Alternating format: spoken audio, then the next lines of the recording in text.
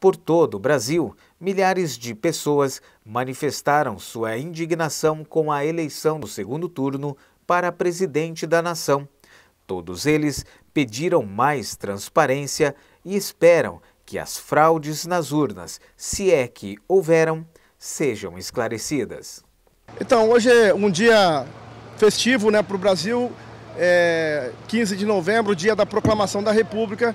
Então nós resolvemos fazer uma manifestação, exemplo do que está acontecendo no Brasil inteiro. Né? É, milhões de pessoas foram às ruas em Brasília, nas principais capitais, e o Moarama também precisa representar isso.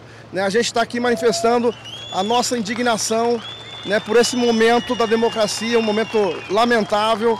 Eu entendo é, que o processo eleitoral ele precisa ter uma, uma transparência. Se não houver essa transparência, é, fica complicado, porque sempre um lado vai reclamar. Isso serve para o nosso lado, serve para o outro lado também. Quanto mais transparência houver, melhor. A gente deixa bem claro que a gente não está aqui lutando contra ninguém. A gente está apenas exigindo um, uma transparência maior no processo eleitoral, que isso, infelizmente, nós não tivemos. Em Umuarama, os participantes se encontraram em frente ao antigo Centro Poliesportivo.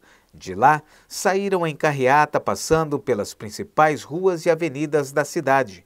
Depois, se uniram em frente ao tiro de guerra, onde cantaram o hino nacional e realizaram orações rogais por nós, pecadores, agora e na hora de nossa morte. Amém. Glória ao Pai, ao Filho e ao Espírito Santo.